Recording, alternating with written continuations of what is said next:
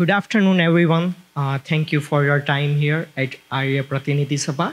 Uh, so everyone knows what mathematics is, but today's presentation is not about mathematics. It is about what Vedic mathematics is. So uh, Vedic mathematics is an ancient system of mathematics that was rediscovered from the Vedas. Uh, it is a collection of 16 sutras or formula and 13 sub-sutras or sub-formula. This can be applied to arithmetic, algebra, and uh, geometry to solve all mathematical problems. Uh, this is world's easiest and fastest mathematical method to learn. Uh, Swami Sri Bharti Krishna Tirthaji Maharaj found these 16 sutras from Vedas. He studied Vedas for eight years and found these sutras from the Vedas, and then he wrote it in the book called Vedic Mathematics. These are the 16 sutras with their, uh, with their English meaning. Uh, we are going to look at one of the sutras to understand how easy it is to learn Vedic mathematics. So, uh, we are gonna uh, take a look on one of the sutras. Sutra sutra's name is uh, Nikhilam Navatascharam Dashata. Uh, in English translation is all from nine and last from ten. This sutra can be applied to multiply two numbers which are near to 10, 100, or 1000. In short, uh, if two numbers are near to the power of 10, you can apply this sutra to multiply those two numbers. Uh, we are going to take a look at one of the example to see how, uh, how this method works and how easy it is to learn. So the first example, uh, we are going to take first example on your uh, left side, uh, 99 multiplied by 97. So what we're gonna do is I'm gonna ask you one question: How uh, 99 is how much less by 100?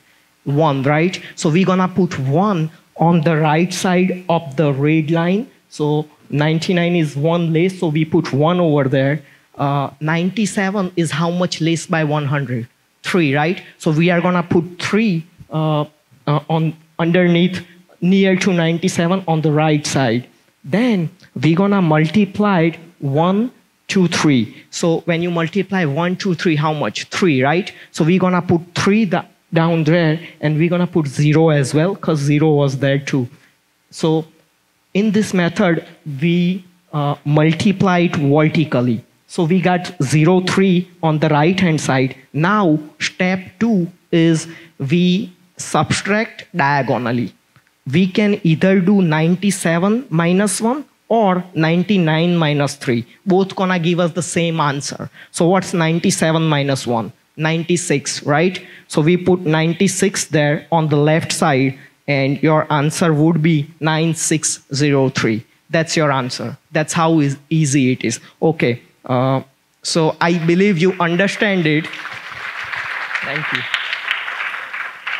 So I believe you understand it a little bit. Let's take one more example uh, so I can see that you understand it or not, okay? So let's do 98 multiplied by 96, okay? What's the first step? First step is 98 is how much less by 100? 2, right? So we're gonna put 2 on your right hand side.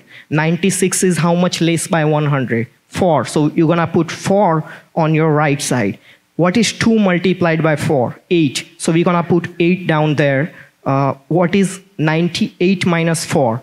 Uh, it's 94. So we're going to put 94 over there. Your answer is 9408. So, yes. Uh, that's, that's how easy it is to understand it. If you don't believe it, you can uh, do it in your calculator. Make sure I'm correct or not. Okay? Uh, so this sutra is particularly applied to multiply two numbers which are near to 10, uh, 100 or 1000. But there are 15 more sutras that can be applied to solve different kind of mathematical problems.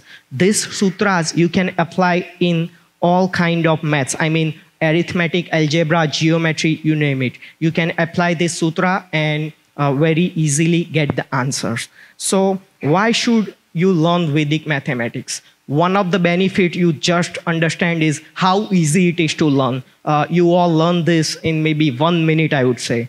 Uh, so this method is 10 to 15 times faster to uh, faster than Western method. Uh, another thing is it's very easy to understand and apply that you all know by experience. Uh, it's, it also sharpens your mind because you will not be doing any rough work in the paper. You will uh, be doing all this in your mind. So it's gonna sharpen your mind as well. It improves memory and uh, boosts self-confidence. And of course, it increases speed and accuracy. And that is why it is said that Vedic mathematics is a magic until you understand it and mathematics thereafter. So thank you, thank you all uh, for listening me. Thanks.